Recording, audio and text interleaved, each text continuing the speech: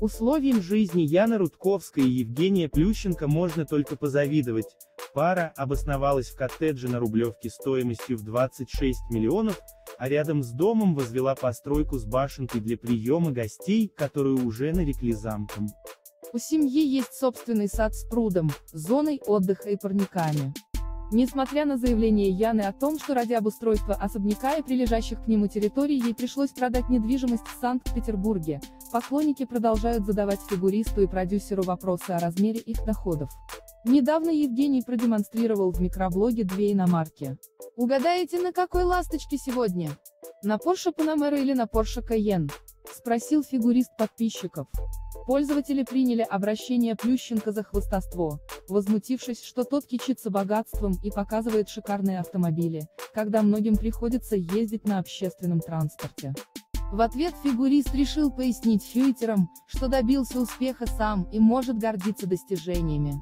Кого-то удивили наши машины. Тогда давайте по порядку. Белая моей жены, черная моя. Мы являемся амбассадорами бренда Porsche. Все, что я имею, я заработал своим здоровьем и своим трудом.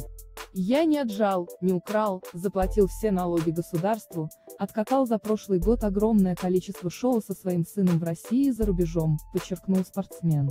Плющенко отметил, что прекрасно помнит, как раньше жил в бедности, поэтому сейчас занимается благотворительностью. Дарю на свои шоу ежегодно больше 10 тысяч билетов для малоимущих семей, фондам и инвалидам. Четыре олимпийские медали и остальные титулы – это не только слава, но и 16 операций, через которые я прошел, и тяжелейшее восстановление, после которого я еще продолжаю кататься. Я знаю, что такое нищета, я знаю, что такое собирать бутылки, но я счастлив за тех, кто работает и добивается того, что ему доверяют мировые бренды в России и в мире, заключил спортсмен в микроблоге. Евгений рад, что его опыт стал примером для сына. Маленький Саша уже завоевал несколько наград в соревнованиях по фигурному катанию и обрел поклонников. Особенно мальчика любят японские зрители, которые каждый раз буквально заваливают ребенка подарками. Яна Рудковская привезла из Японии 9 чемоданов подарков Я счастлив, что у моего сына есть стимул быть лучшим, когда он пашет на льду с утра до вечера. Я рад работать каждый день со своими спортсменами по 7 часов на льду, рад за каждого, кто добивается успехов в своем деле. Научитесь быть счастливыми, резюмировал Плющенко.